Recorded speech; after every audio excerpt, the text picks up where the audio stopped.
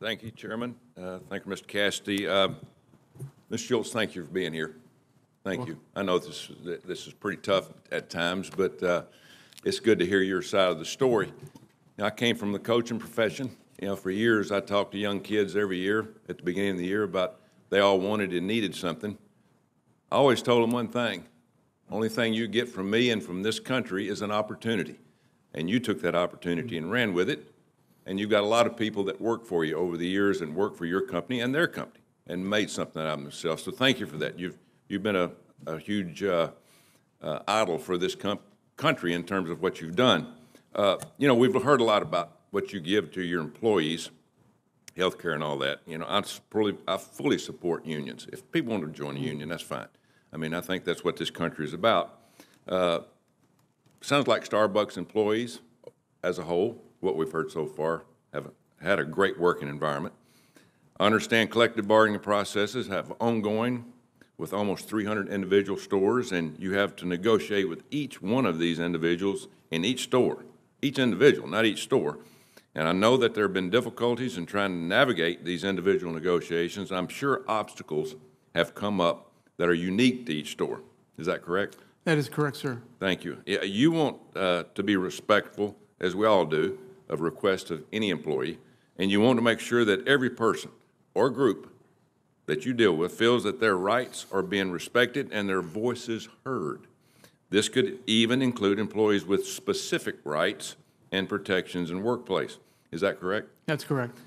I know this has been a long process that requires considerable effort on your side to do all this. So, can you speak to me about the difficulties that you've been having in bargaining processes, specifically in the unique issues that your average person might not understand? Yeah, thank you very much for that.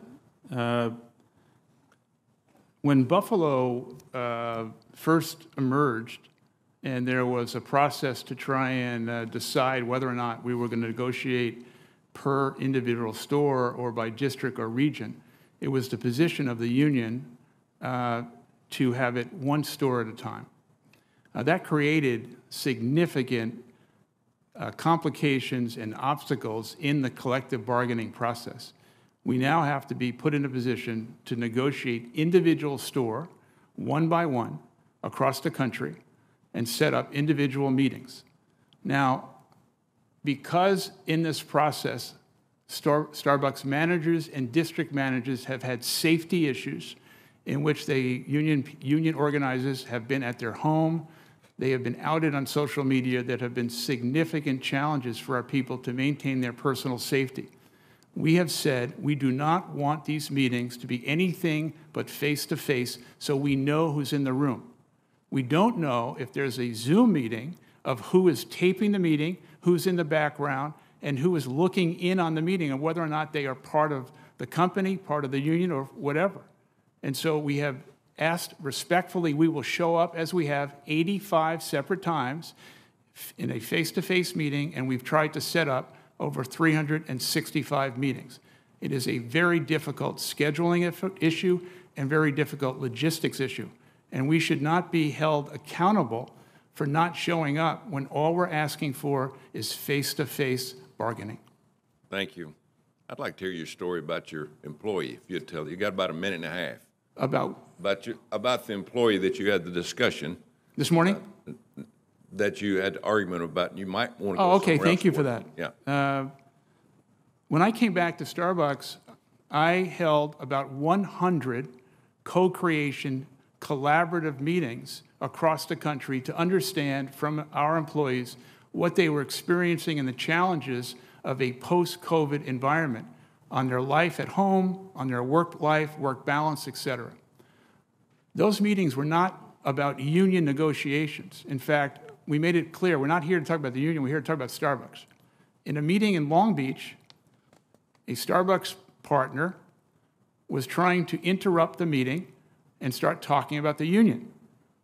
She happened to be sitting next to me. I didn't know she was recording it, I didn't know she was filming it, but it was clear that there was a disruptive mentality. I just turned to her and I said, if you don't like the company, if you hate the company, you could work somewhere else. It was not a threat. And going back to Chairman Sanders' question before, I can understand she may have misinterpreted what I said. It wasn't a threat. I didn't know I was being filmed. I just simply said, if you hate the company, you could go work somewhere else. Those 100 sessions that I attended are based on what we've done to improve the company, to understand the empathy and compassion we need to have for our people in a post-COVID environment. They were not union meetings. They were meetings to discuss Starbucks and the opportunity for our people. Thank you for the question. Thank you, Mr. Chairman. Senator Casey. Mr. Chairman, thanks very much, and thanks for calling the hearing. Mr. Schultz, welcome, and I want to welcome the, the workers in this room who have had to do so much, um, extend, expend so much effort over many years